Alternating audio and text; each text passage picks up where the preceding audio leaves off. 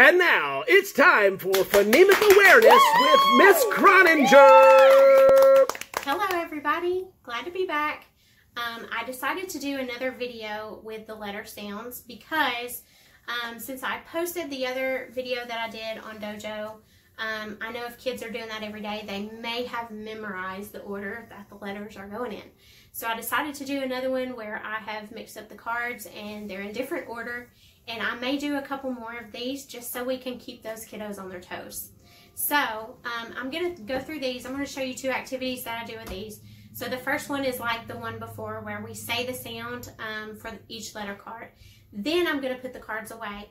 I'm going to say the sound and we're going to write those letters in the air with our finger. So um, to start with, hopefully you can see these okay. Here we go. We're going to do our letter sounds er. K. Mm. I. Ah. Wool.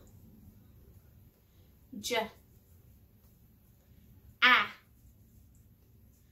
D. G.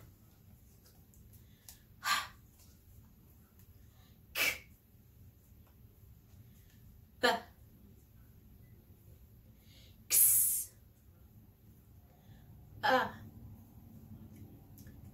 we're back to the beginning.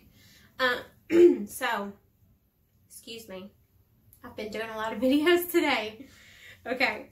So, um, this is a great activity because we're moving through these letters quickly, and so they have to see the letter and recognize the sound really, really fast.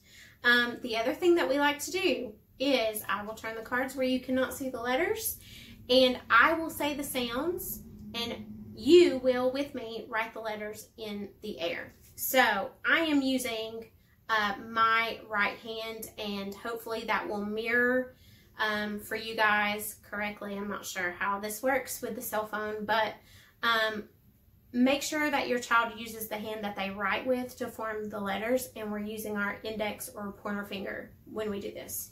Okay, so I say the sound, then we'll say the letter and the sound together. Okay? Er. R says er. Mm. M says mm. If you notice, we're only writing lowercase letters. I. I says I. Ah. O says ah. L says ul. I. A says I. G. G says G. H says Okay. Now, I don't go through the entire alphabet like that every day, but we do quite a few letters each day.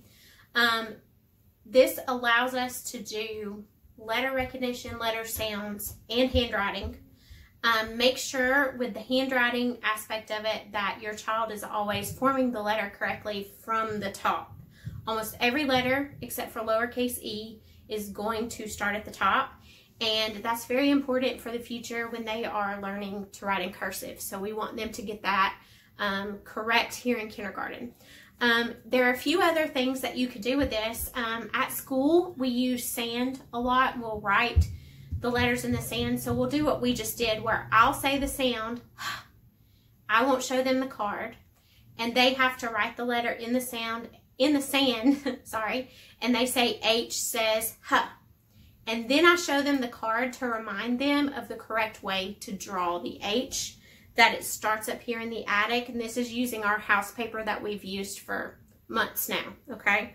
Starts in the attic or at the roof. It comes all the way down to the floor, comes back up to the ceiling with a curvy line, all the way back down to the floor. So getting that letter formation is very important.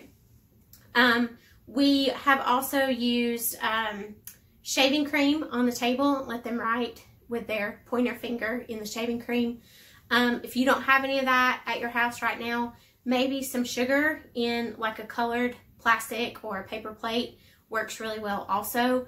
Um, I have also used rice for this before. So anything like that that you could write in um, would be great or even just getting to use, you know, really cool markers um, is fun and makes a big difference. So let me know if you have any questions or concerns, if there's anything I can help you with.